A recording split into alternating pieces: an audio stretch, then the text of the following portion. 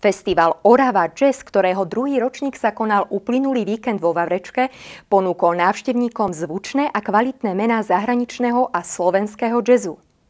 Druhý ročník akéhokoľvek festivalu je vždy náročný, už je čo porovnávať, pričom každý chce vidieť progres. Orava Jazz Festival v tomto ohľade reálne nezaostal za očakávaniami, ktoré súvisia nielen s kvalitou interpretov, ale aj s celkovou atmosférou. Posun nastal v programe, posun nastal v technike, posun nastal vo všetkom. Teda ten posun cítiť, e, dúfam, že ho cítia aj návštevníci a snažíme sa robiť ten posun, lebo by sme nerobili festival, aby sa neposúval. To bolo potom nezmysel.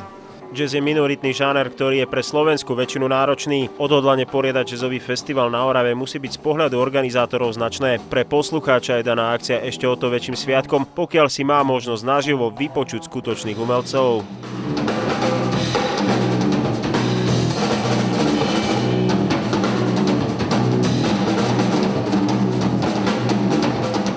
Čo je lepšie, zarábať peniaze alebo hrať jazz? Musíme zarábať peniaze, aby sme mohli hrať jazz. Najlepšie je hrať jazz, keby nás tento štát podporoval a videl aj v týchto smeroch e, proste váhu a kultúru a umenie možno.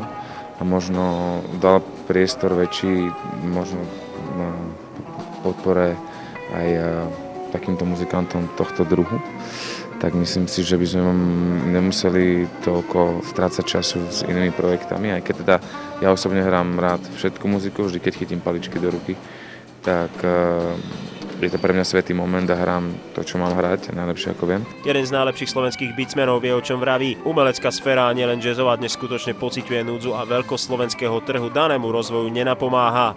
Do akej miery sa vám podarilo zabezpečiť tých interpretov? Boli ste nejaké veľké starosti alebo kooperujete priamo s nejakými promotérmi, ktorí uh, zháňajú tých interpretov v rámci bratislavských jazzových dní?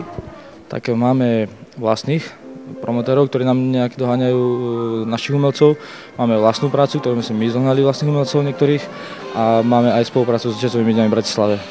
Konkrétne Randy Brecker napríklad e, má tri koncerty na Slovensku, u nás, Prešove a Bratislavských dňoch, takže tým pádom je tá spolupráca aj na, na dobrej ceste.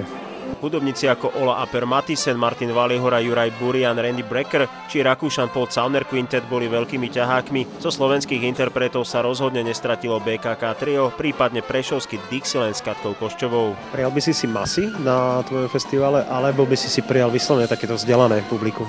Masy určite nie, lebo to, to nie je potom dobré a kvalitné.